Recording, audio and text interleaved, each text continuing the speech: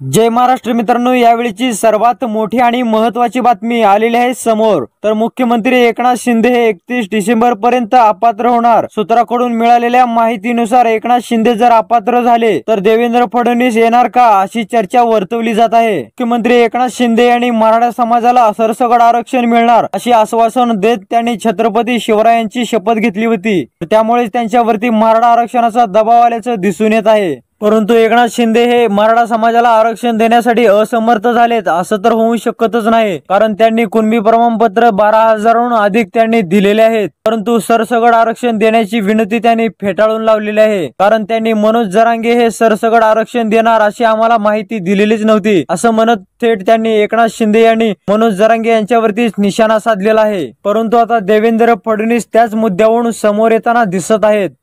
तर देवेंद्र फडणवीस यांची मराठा समाजामध्ये इमेज जी गेलेली आहे तीच आता मराठा समाजाला आरक्षण देऊन इमेज उभारण्याकडे त्यांचं लक्ष वेधलेलं आहे. तर त्यामुळेच आता एकनाथ शिंदे यांना एकतीस डिसेंबर रोजी अपात्र करण्याचा निर्णय होत आहे. कारण देवेंद्र फडणवीस यांनी आपल्या एक्स हँडल वरती पोस्ट करत म्हटले होते की मी पुन्हा येईन पुन्हा येईन. त्यामुळेच असा प्रश्न वर्तविला जात आहे की मुख्यमंत्री एकनाथ शिंदे यांना डावललं जाईल व मुख्यमंत्री एकनाथ शिंदे यांना डावलल्यानंतर देवेंद्र फडणवीस हेच मुख्यमंत्री पदासाठी उभे राहतील. तर मराठा समाजावरती जो लाठीचार झाला त्यामध्ये देवेंद्र फडणवीस यांचा कोणताही हात नव्हता असं म्हणत त्यांनी थेट पोलिसांना देखील सांगण्यास आवाहन केलं. त्यामुळेच मराठा समाजामध्ये नवीन इमेज तयार करण्याचा ध्येय देवेंद्र फडणवीस यांनी घेतलेला आहे.